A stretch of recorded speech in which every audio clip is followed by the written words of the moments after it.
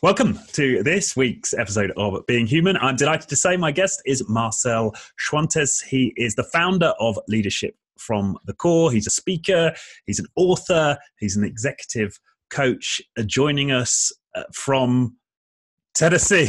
Remind me of the town. Tell me. Yeah yeah, that would be Chattanooga, and, uh, and, even for me, it's tough as a as a U.S. based person because uh, I used to come. I came from Los Angeles, which is a lot easier to say, but uh, yeah, Chattanooga is a small um, city in the southeast part of the U.S. Yeah, in the, state, in the state of Tennessee, which is another state that you don't hear about often. You you know we know about New York and California, but Tennessee, where in the world is that? So here I am in, in the backwoods. Known for, your, for, for the whiskey, I suppose. Oh, oh yeah, and amongst other things that uh, Southerns like to do, but that's for another podcast. right? Yeah. Okay, so yeah, so the, the, leadership from the core that that that pulled me in to begin with. Uh, yeah, should we start there? What do you mean by that? Yeah, so when I was uh, you know, as an executive coach, um, the best sessions that I have, uh, Richard, is uh, when a client gets these aha moments, right? These breakthroughs. And the only way to get breakthroughs is when you go deep within yourself, when you um, gain a kind of self awareness.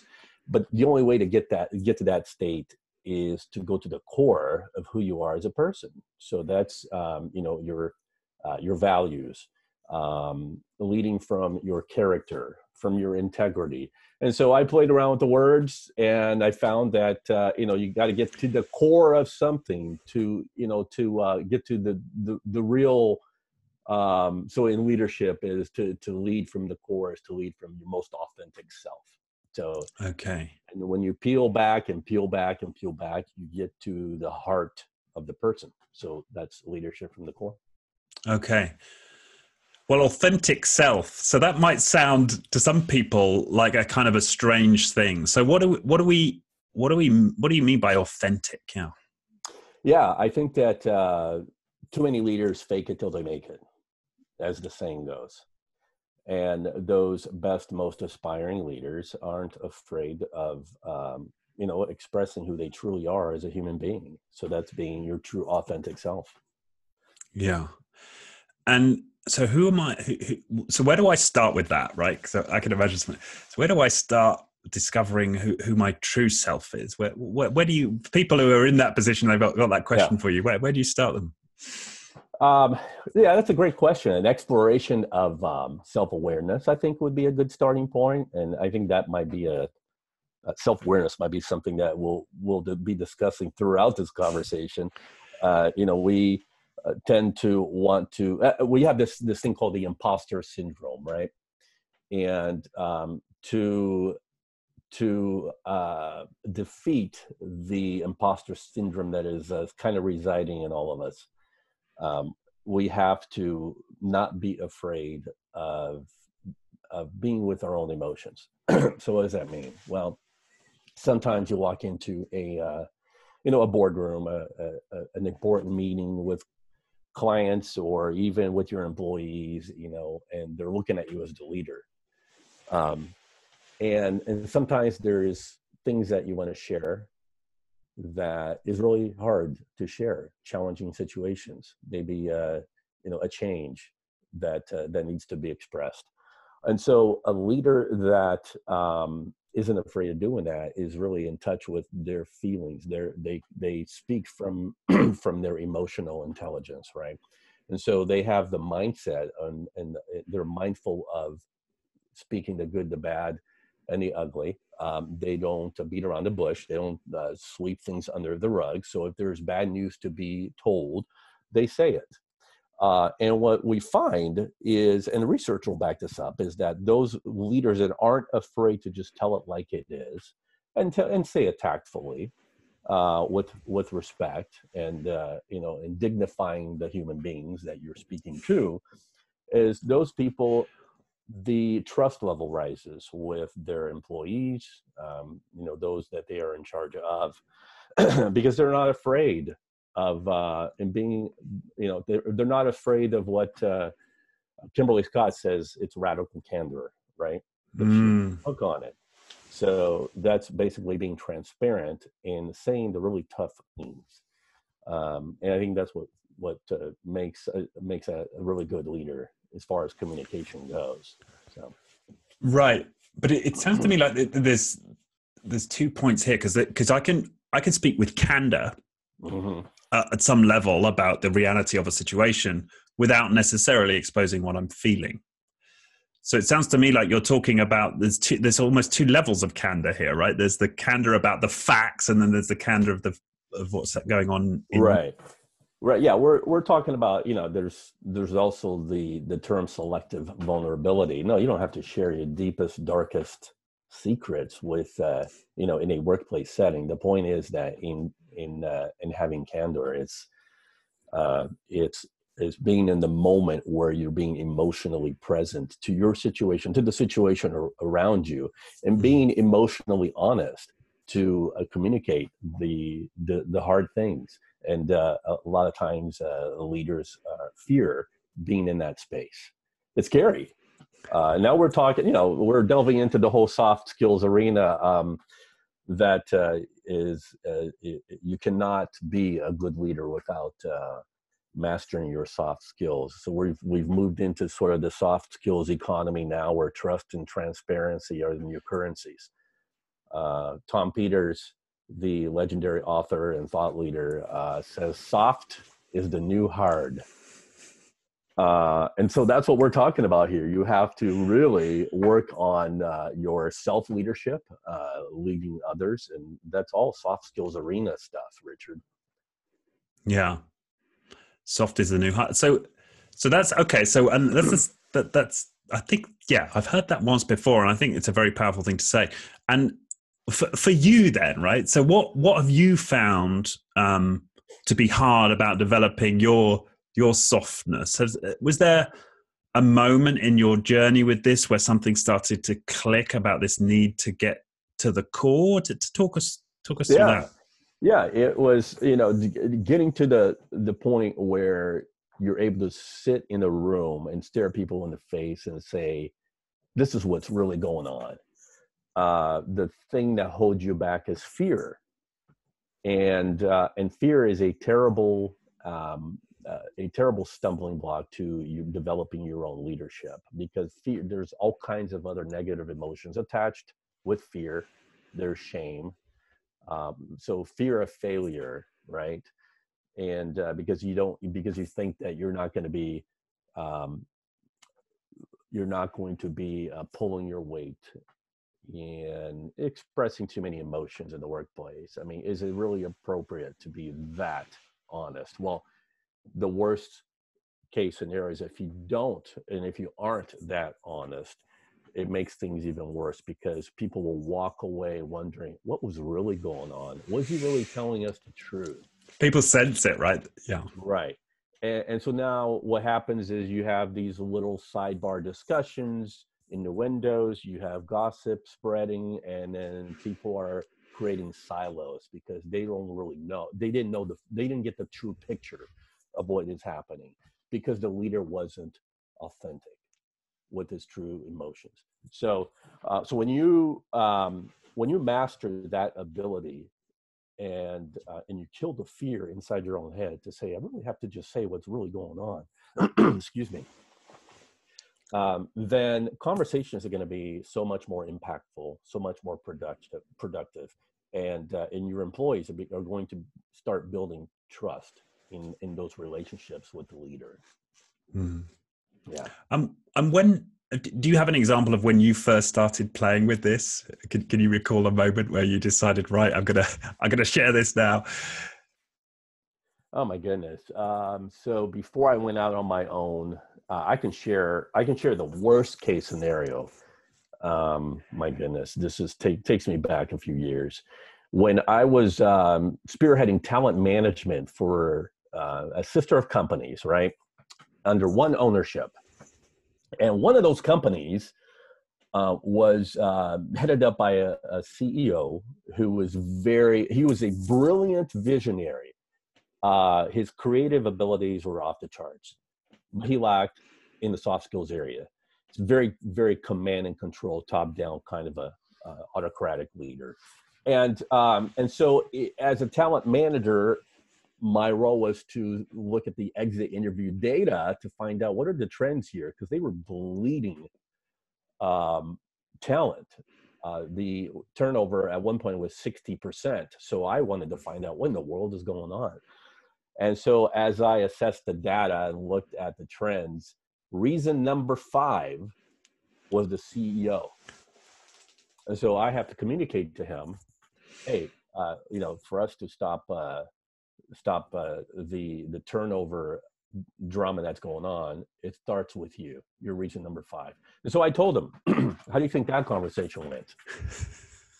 when you, yeah, when you're, uh, you know, talking to a an autocratic command and control person who does not have the self awareness to understand that he is one, he is part of the problem. Well, um, it didn't go too well. He um, uh, the the conversation backfired to the point where um, he uh, asked, not asked, he told me that he wanted the list of the people um, in that interview data report, that exit interview data report, which, by the way, if anybody in the world knows, that's privileged confidential information that's filed in the, an employee folder and stored in the vault somewhere that I don't even have access to, right? I'm the HR person here. So, uh, so yeah, he stared me straight in the face and says, I want the names of every person that, that, uh, you know, that uh, blame me for, for their, their exit.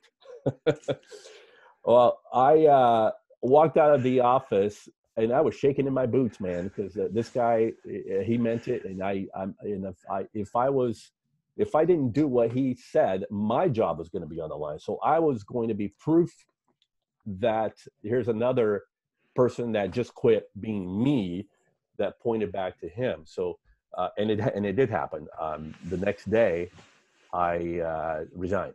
I sent in my letter of resignation because I could not um, I could not, uh, you know, give him the the the interview report. Well, someone else actually got a hold of it, got a hold of that because um, you know when fear is prevalent in the organization, even though I wasn't the one that did it, someone else had to had to take the marching orders uh, out of fear to um, you know to um, uh, appease the, uh, the the CEO, and so he got the interview uh, report with the names on it. So when I when I got wind of that, uh, that true authentic self in me went and and called every single one of those employees mm. um, because I felt that that was the right thing to do to let them know, hey, confidentiality has been breached.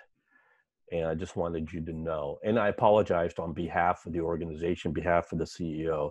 As the person that did the exit interview, it fell on me at least uh, uh, to, to to to tell each one of those persons, listen, um, it's uh, yeah, our confidence, the the trust that we had in in in conducting that in, exit interview has been broken. So I want to take accountability for um, for that on my end. That I, I gave you my word that this was a confidential um, interview, and uh, and I explained that uh, you know the uh, the CEO didn't take it too kindly that uh, uh, that the turnover pointed back right at him, and so I think that's when I began to uh, to kind of investigate what true uh, you know authenticity as far as like tapping into your feelings and and and being in those moments that are extremely difficult. You think it was easy to call at each of those mm. people that gave me their word that I gave them their my word uh, that shared from the heart what was really going on and how the work was impacting their health, their well-being, even uh, you know their family life, uh, because it was a fear-induced, stifling pressure cooker environment, and it could not handle the CEO anymore. Uh, and so they had to make a change. And I gave each of those per- persons my word. This is confidential, and I'm just going to use the data um, to see if we can change things around here. And so, so that's when I realized, okay, and each of those people that I spoke with, uh, even though they were disappointed, it's you know they were obviously disappointed. Um, they each thanked me for being brutally honest about the fact that this happened. Um, and uh, and so that's when I began to realize that hey, that did something in me. Uh, that you know that triggered something in my heart. It's like that you know uh, it made me feel good and it freed me up from any sort of guilt of having it just left it like that, where this CEO has has the data and people's personal information of who gave the who gave the data.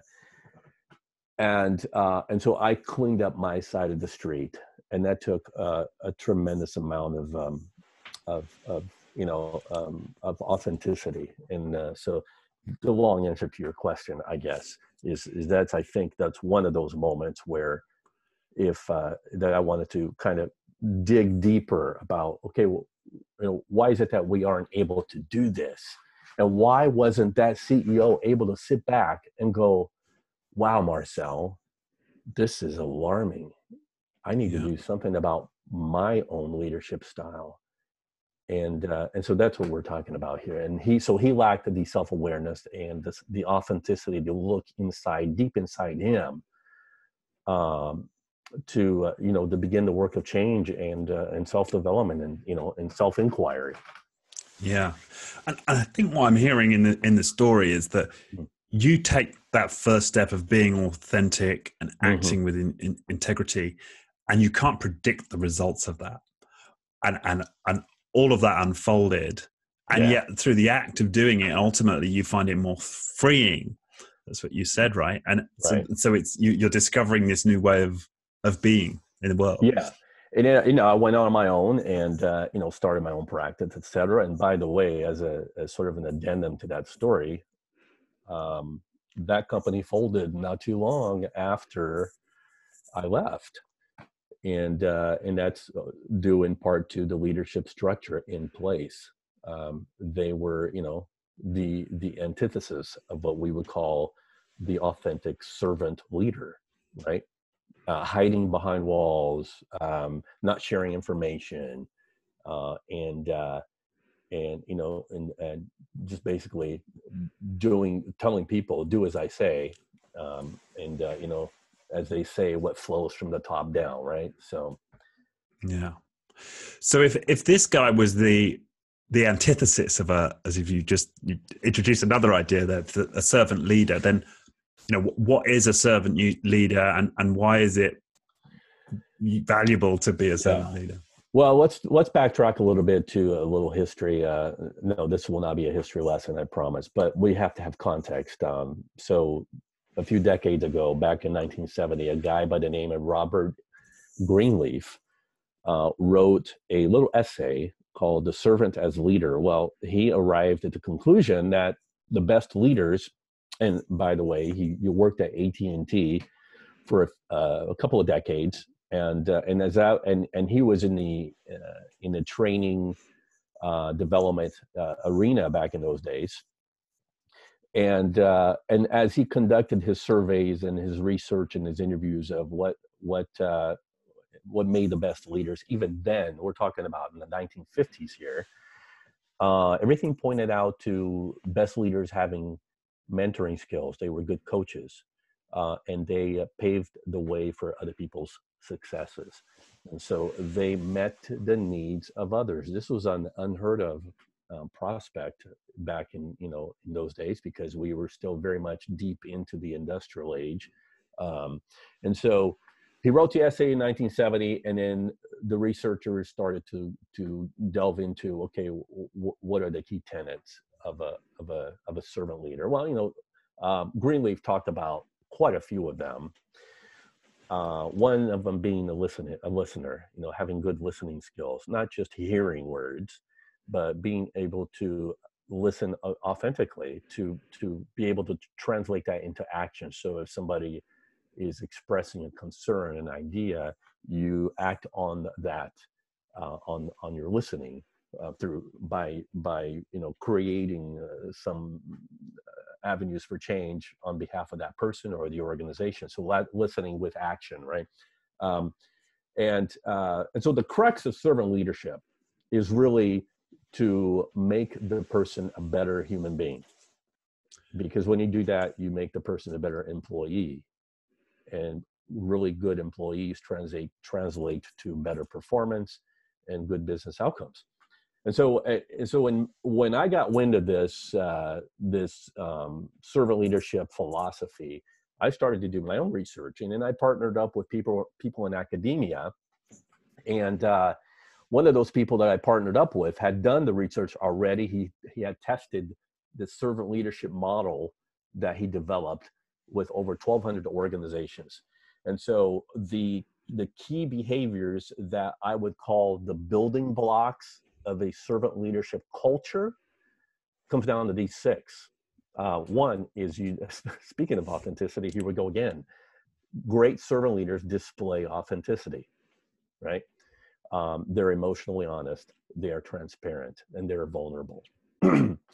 Number two is they value people.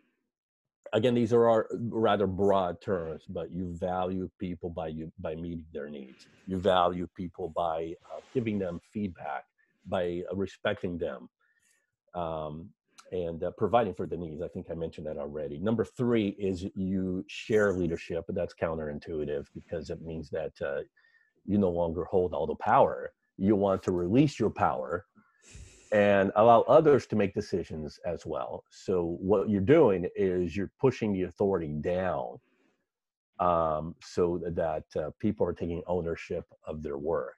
So that's sharing your leadership, right? That's number three. And I hope I remember the others. Number four is um, provide leadership. So providing guidance. So that's setting it, setting the expectations uh, in creating clear measures for results um, and uh, casting the vision and bringing people as co-creators of the vision. So it's not you're ramming your vision down people down people's throats. No, you are enrolling your team to design the vision with you and then carry it out. So that's provide leadership and then setting the expectations. If things change, you have to reset your expect- expectations so that they have clear goals. So that's number four which is provide leadership.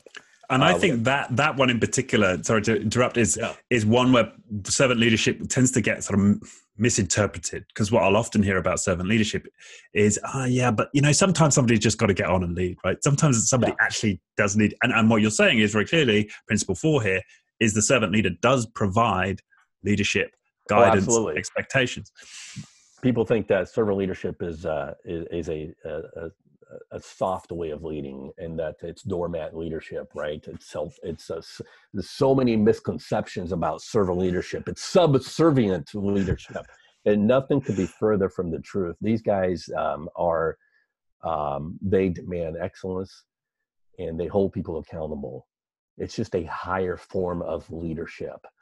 Uh, but you have the servant part which is the soft skills the real soft skills area and then you have the leadership part which is the accountability part that you know that holds people to uh, to uh, excellence uh, to performance. Um, so the fifth one is so we got so far reviewing display authenticity value people um, what did i say? Provide leadership and share leadership. Okay we got two more. Uh, the fifth one is build community so that's all about taking the values uh, off of the uh, nice plaque on the wall and making them live out those values within the hallways and within the walls of your organization. Um, and so, you know, those are the behaviors that say this is how we belong and behave as a family inside these walls. Or even if you're in a remote company, that's fine too you have these expectations of which by which you hire and fire and promote people. Um, that's how you build community. That's how you build a great culture. And community cannot happen without personal relationships. And so the leader is out there getting to know people so that you're able to understand oh okay these are his his or her strengths perhaps his or her weaknesses and this is how i can make that person better and you build community that way by by engaging through relationships and converse, frequent conversations. So that's the fifth one. What's the sixth one, Richard? Let me see if I can remember. It's it's because I'm going off on research here. Um, the six uh, key behaviors of a of a servant leadership culture. Which one am I missing? Uh, we have display authenticity, value people, provide leadership, share leadership, build community. Uh, maybe I, it'll come back to me, but um, uh, later, uh, maybe you can ask me another question. Though I'll, I'll remember what that sixth one was. Yeah, and, and of those, um, of of those six, then I guess which have you, which of, of any of those have you personally found the most difficult to to develop, and and how have you um, how have you enhanced your ability in that area? I think the the hardest one. So when I do my trainings, I always leave always leave display authenticity for last because I don't want right. to shock people into thinking that uh, you know all of a sudden they have to uh, uh, you know express their emotions. God forbid. Um, so we usually go through all the others, and then display authenticity is last because by that time uh, people are are more more um, the, the the it's a softer blow because displaying authenticity has to be uh, ha- has to have some vulnerability attached to it. And uh, and so that's the toughest one as, as, as always is being vulnerable not in a you know again people misconstrue the word vulnerability as a weak soft area of leadership and it's not. Um, jim collins book good to great you know he talked about the the humble leader. It's there's two th- two sides of a great leader in his research right? You have fierce resolve where you expect results and then you have humility. And humility is the, is the ability to be vulnerable with other people. So uh, so yeah that's always the, the the tough one and and and so in that in that context can you remember a time when you you you first allowed yourself to be vulnerable? Like where you where you first started playing with this? Say that again one more time. So a time when you you first allowed yourself to be vulnerable. Like yeah as a as a leader myself oh my goodness. Yeah, um, yeah i think that uh, is is in the role of a leader of people, there's always moments of vulnerability when uh, someone is not uh, pulling their their weight as far as performance. Uh, is sitting down and, and having that kind of a tough love conversation as a servant leader. You're not um, you're, you're not um, you're, you're you're not downplaying the fact that somebody's underperforming that's when authenticity has to show up in full mm. force. To sit down with that person and say, "Hey, I noticed your performance is, you know, you you uh, you're you're not pulling up to to speed here. What's going on?" And in listening, perhaps that person is having a personal problem at home, um, you know, and so you want to find out what what's going on and and and if and if it's it's a, a repeated pattern of behavior then of course some discipline has to take take place here. Um, because now you're talking about the doormat leader that doesn't pull his own weight to say, hey, you know, we have some expectations and you're not meeting those expectations. Um, and, uh, and so, right. yeah, so you have to you have to have both both sides both sides. And first, you start with understanding why why is it that this person is underperforming, and see if you can problem solve around that. But if it's a repeater pattern of behavior, then you got to be that that that tough tough leader that says, okay, you know what, uh, we need to change some things here. If and that is means, that if that means to terminate that person, so be it. And is that an area where you found yourself being most challenged? Is sitting down and having those that that, t- those tough love moments. Nobody wants to have those conversations, mm. um, but I, I think that when you do, uh, and you know, neuroscience. I'm going to pull in a little bit of neuroscience here is our brain is is we have plasticity in our brain. The more we make something habitual the better your chances of of changing your behavior so that things become more the norm. Um, right and so and so if you are struggling with having those emotionally honest conversations well the hardest thing you'll ever do is to start having those conversations because over time they will get easier and easier to have because you're you're changing your your um, you know your your brain uh, patterns um, you know to in order to do that. So the behaviors become easier over time. Yeah. And and i'm sort of trying to imagine a way in here because what i'm reminded of is when you know some time back, I, I was in a 12 step group, mm. right? And mm. and one of the things that we had to do at the start of this group was is to finish the sentence I feel. And and actually you got a range of potential sentences that you got this kind of sheet handed out of 20 feelings you could and I remember when I first started it, I found it I found it so hard. I would just be like, I'm fine. I'm fine. I'm fine. and, that's, and that's all I could do, right? And and right. somebody once described me as like pathologically English. Like I could I could that's all I could manage. And and and that was for me what helped me start to break this just just to complete the sentence you know i feel sad. I feel angry. Really simple but in my own journey with vulnerability and i, I still struggle because i can do that myself with my journal and maybe in an intimate setting i can start to, to, to share i feel. Doing it in front of groups for me is definitely where my edge is. Yeah. Um, but that was the start of me i guess learning to be more vulnerable do you have advice for people or your your own experiences of starting to develop that that practice that muscle no i think that you nailed it is uh, if you're if you need to express something it's good to say to start with you know i feel that this is going on but because you don't put the blame on someone else or mm. a, a, circumstance this is something where you are being mindful in the moment um, of sharing this is what's going on inside me because now that that uh, disarms people from you know casting blame at each other and well he said she said no it's the, no it disarms people. So now they see the model being the leader being vulnerable that opens up other people to say wow i think it's safe here for me to do the same. And so that's what the leader the leader is setting the conditions for his workplace, his or her workplace and culture to say, this is a safe environment. I'm expressing how I feel uh, about a certain situation that we need to work through together, and it's okay for you to do the same.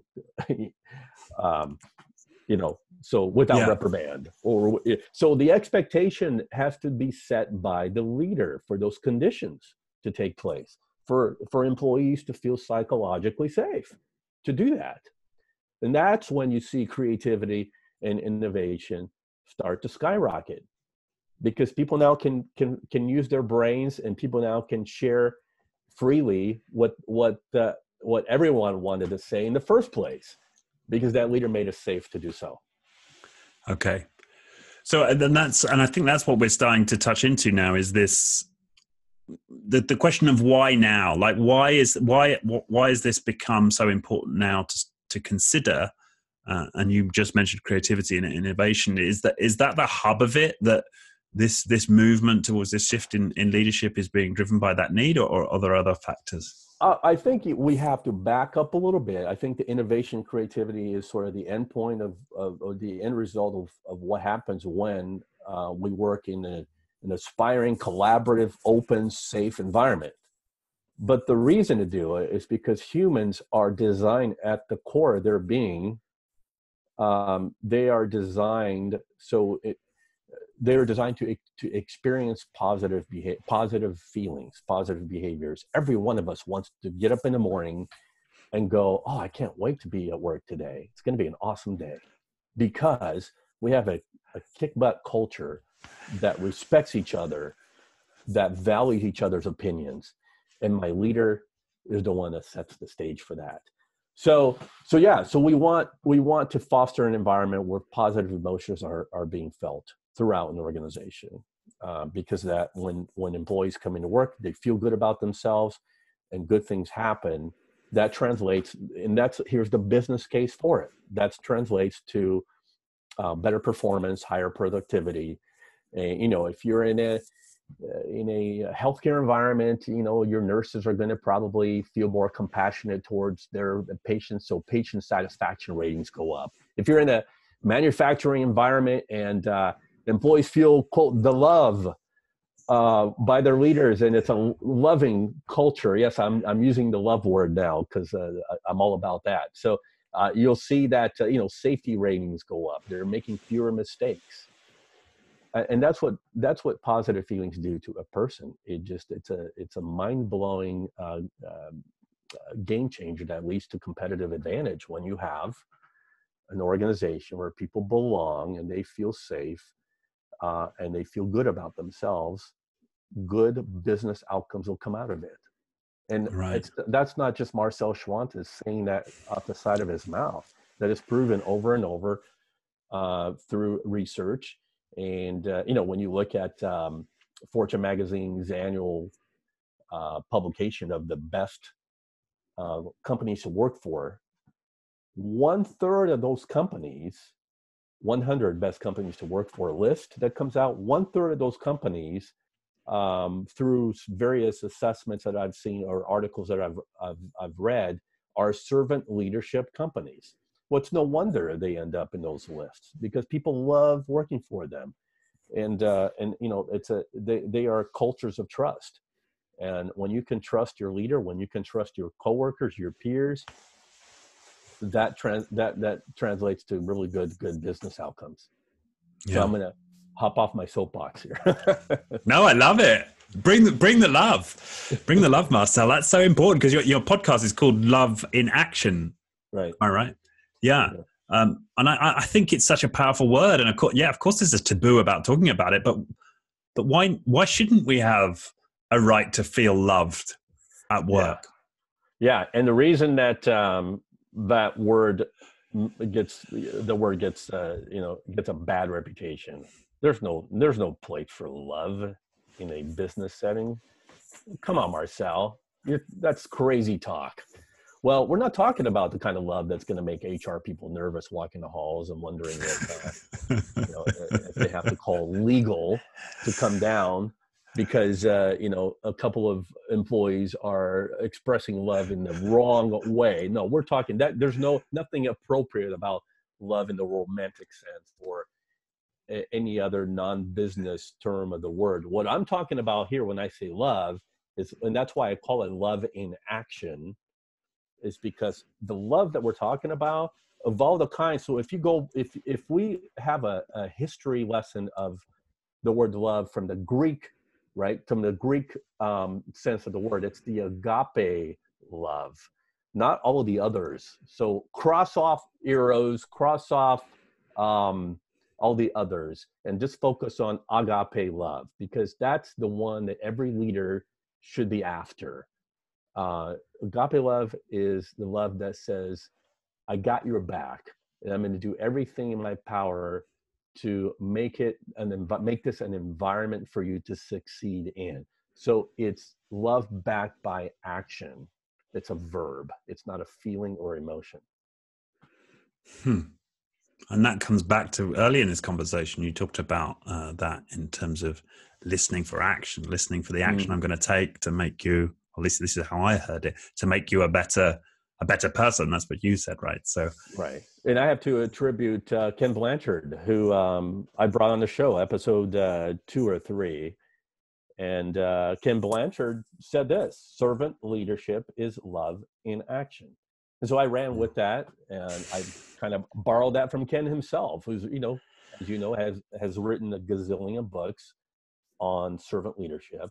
And he has no problems talking about the word love uh, in in a business or leadership sense. Right. And would you say that's your vision then? Is it is it for for a world populated with with businesses um, run on love? Yeah, absolutely. And it's it's not a unique it's unique to me, but it's not a unique vision. I mean, the conscious capitalist movement is about love in action. Servant leadership movement is about love in action. Uh, even some of those B Corp organizations um, that do good in the world for profit, they're all about love in action. Uh, even if you don't have a, a, you know, if you sell widgets, um, you know, if you're in a financial services industry or something that doesn't directly impact a human being for, for good, you can still do good inside your own organization. Um, and to uh, to uh, raise the the awareness and the, the, the well-being of your employees so to make it a great workplace environment for them.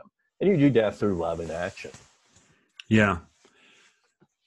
And, and the other thing i'm getting from what you said and this this is a couple of steps back now but when you talked about this the, the kind of conditions for people to feel like they've got this this love at work. You, you singled out the leader right? They, they need to feel like their, their boss the person they identify as the, the senior individual is modeling this is is doing this. I think that's so important right? The the people who for whatever reason get anointed into some form of you know quote leadership role they have a, a special responsibility for this would you say?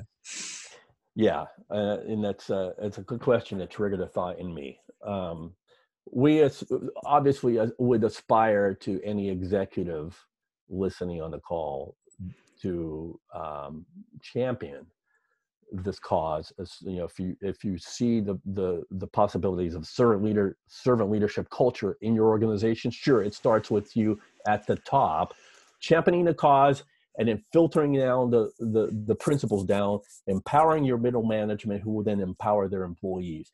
Does it work that way? It, not not always because the the people at the top may not have the vision. So if you're a middle manager on a call or even a you know a, a uh, somebody that's heading up a a, uh, 10 person team inside a, a, a ginormous organization can you still be a servant leader? Servant leader absolutely. The answer is yes. Even though you may not have have it uh, as a, a, strategy coming from the top down.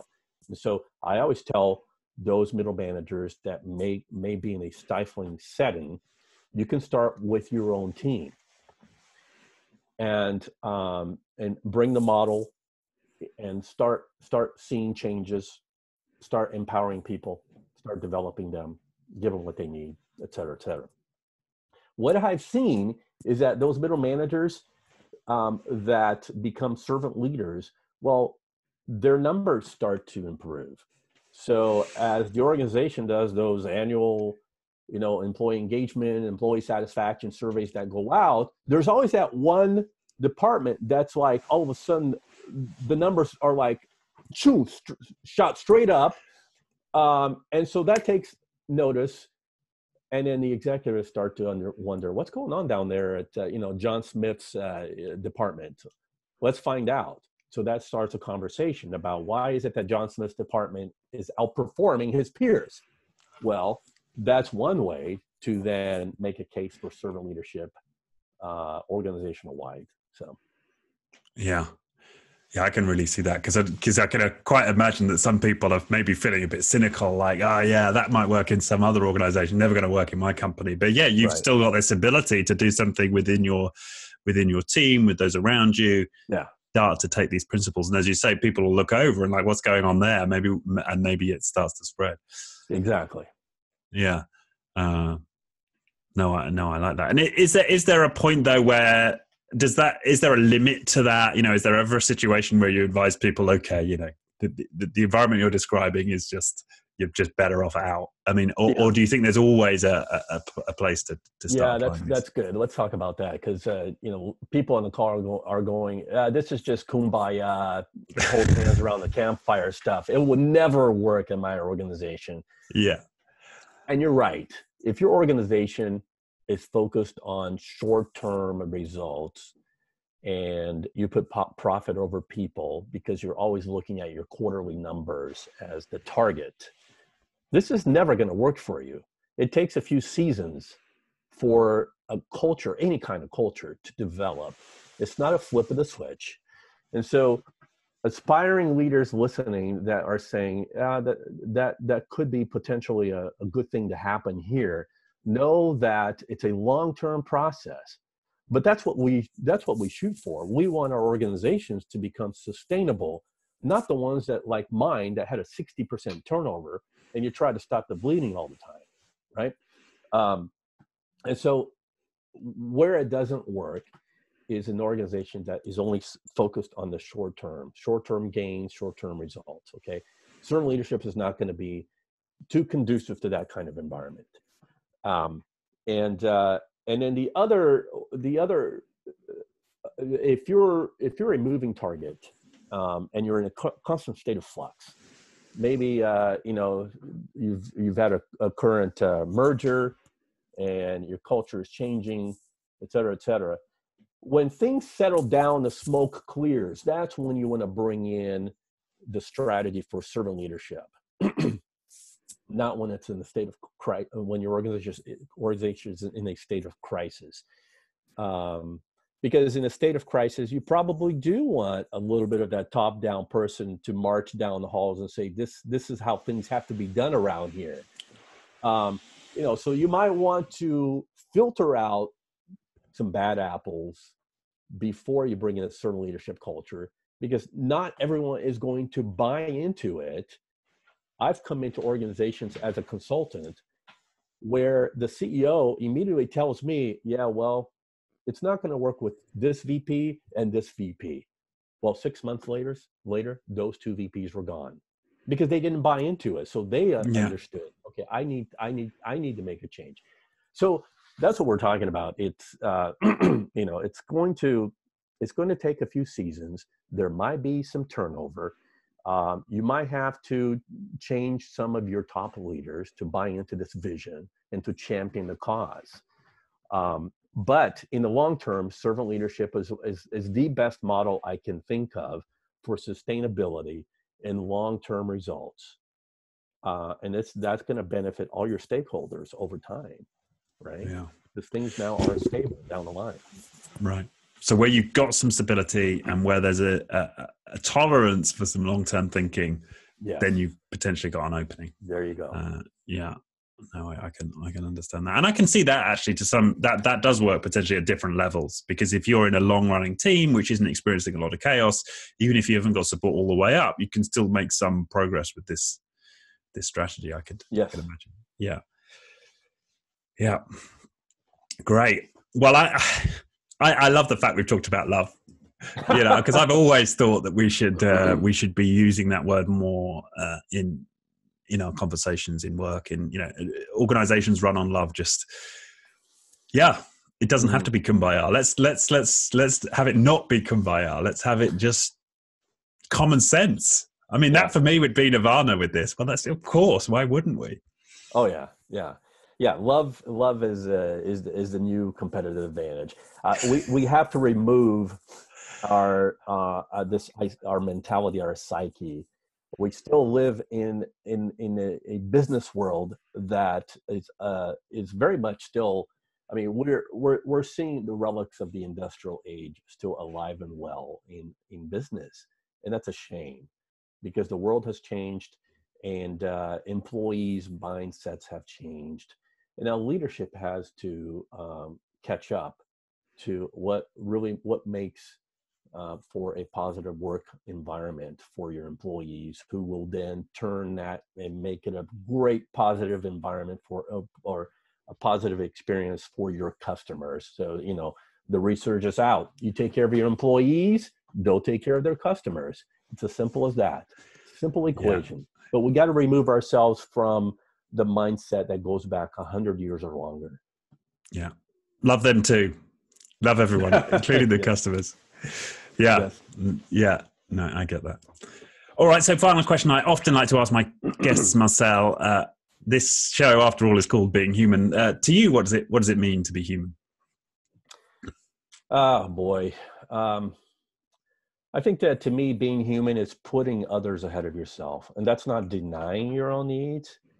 Uh, but I cannot lead, and I cannot uh, uh, call myself a leader if I don't first take care of the needs of others.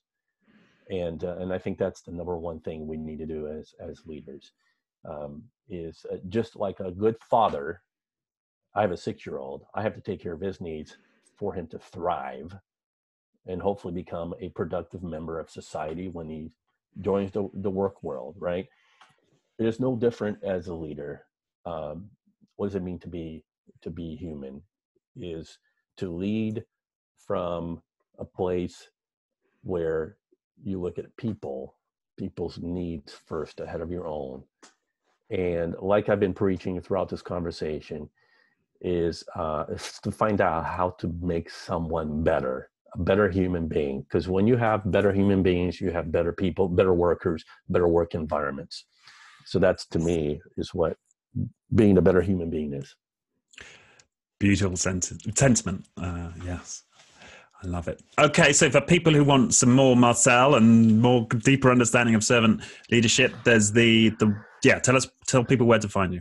Uh, leadership from the core, C O R E dot com. Leadership from the core dot com is my website. Um, and you'll find everything there. My Inc. column.